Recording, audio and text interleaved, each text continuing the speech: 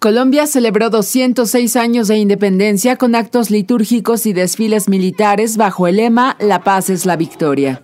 La celebración se inició con un Te Deum en la Catedral Primada de Bogotá, en la Plaza de Bolívar, que es el símbolo de los poderes de Colombia desde hace 206 años de vida republicana. Los actos religiosos y desfiles militares se replicaron con igual fervor por la paz en las grandes, medianas y pequeñas ciudades de este país de 48 millones de habitantes.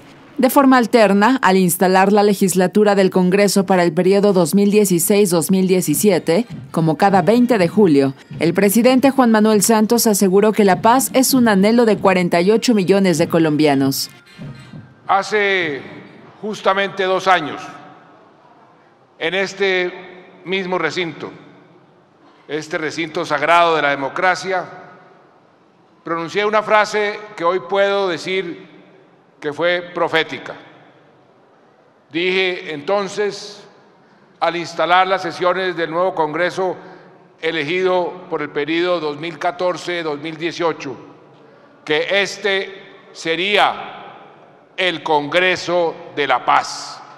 Santos aprovechó el acto para rendir un homenaje de gratitud y admiración a las fuerzas militares y la Policía Nacional, así como para exponer los beneficios de ponerle fin al conflicto armado y avanzar hacia la construcción de la paz.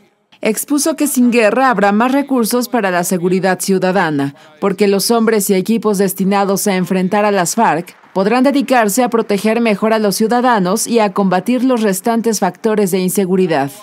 Con información de Edenmiro Franco, corresponsal en Colombia. Notimex,